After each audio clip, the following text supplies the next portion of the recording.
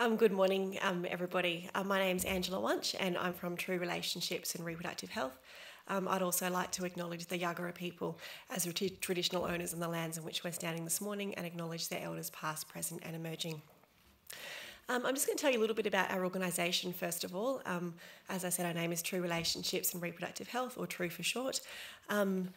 For many, many years, we've been known as Family Planning Queensland prior um, to 2015 when we changed our name. So, although that's coming up to two years now, we're still in a bit of a process of communicating um, our name change. So, we've been around since the early 70s um, and we're a sexual and reproductive health service based in Queensland. Um, so, my role at True is Manager of Child and Family Education Services. And this morning I'm going to tell you a little bit about our Shared Understandings, Relationships and Sexuality project, um, which we did last year, um, the, the first, first half of 2016. Um, so, where's my notes? Um, in 2015, uh, the Complex Case Advice and Practice Support uh, Leadership Unit within the Queensland Department of Communities, Child Safety and Disability Services, um, they delivered a practice development program to a group of their own senior practitioners um, within child safety and also with some practitioners from the um, Northern Territory government as well. Um, and following the completion of that program, uh, the um, CAPS team funded our organisation to deliver a, the Shared Understandings project, which was a parallel um, program um, delivered to foster and kinship care service providers across Queensland. Um, so, Shared Understandings was developed as a strengths and solutions focused training and mentoring project to increase the confidence and competence of professionals to support foster and kinship carers communicate about relationships and sexuality and respond to the sexual health and behaviour needs of the children and young people in their care.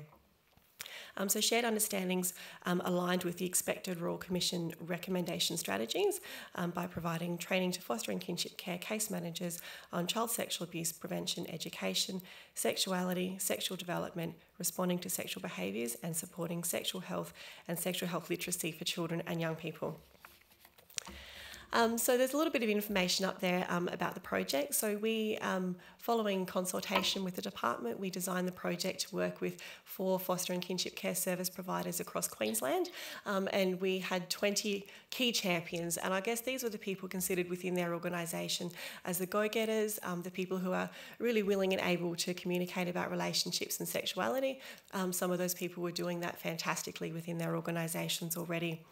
Um, so we had 20 professionals across the state um, and they were based um, all around Queensland. So our idea was about developing local communities of practice um, for people within their own organisation and locally um, across Queensland as well.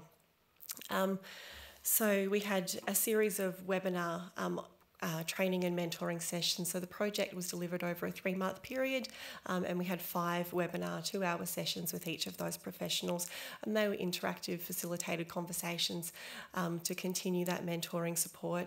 Um, each of those professionals had reading and reflective activities to go away and partic- participate in um, within their organisation and also with their local um, communities of practice within the organi- within their um, their groups as well.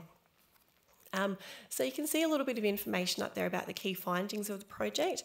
Um, so we're really excited about some of those. So I'll quickly run through those. So um, following the um, the post project evaluation, we found that 100% of the participants um, felt confident and competent in supporting carers to address sexuality and relationships and sexual behaviour with the children and young people in care.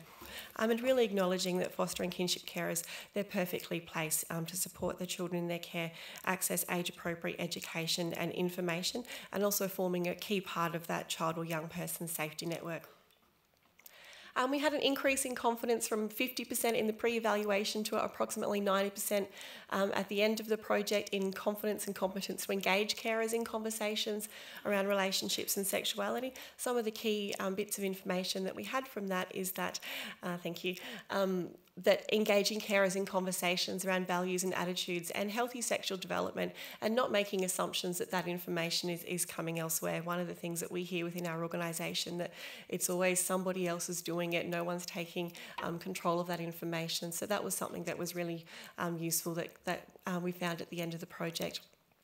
Um, 100% confidence and competence in understanding healthy sexual development in children and young people, um, and from an increase of 40% pre project. Um, that's crucial in order for us to obviously identify sexual behaviours which are concerning or harmful. It's really important that we all have that understanding of healthy sexual development, um, and again, not not um, making assumptions as to where that information is coming from. One of the things that we did as part of the project is looking at sexual development um, for children and young people with abuse and trauma histories and how those developmental traje- trajectories um, can be shifted based on their experiences. Um, identifying, understanding, and responding to sexual behaviours, um, and we base that using um, TRUE's traffic lights framework. Um, and with there's information on our website that you can access more about that.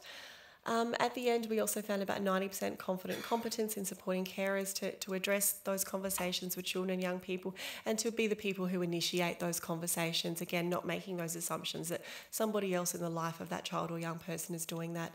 Um, and again, about 90% confident or competent to assist carers, support, uh, access appropriate resources. One of the bits of information that we were really surprised to hear at the beginning of the project was um, we know there are resources out there, but we need how do we support carers to access those those resources which are appropriate to the children and young people um, in their care. Um, so thank you. Um, I won't spend any much uh, any longer talking about the project, but come and have a chat to me during the break um, if you want to know more. Thank you.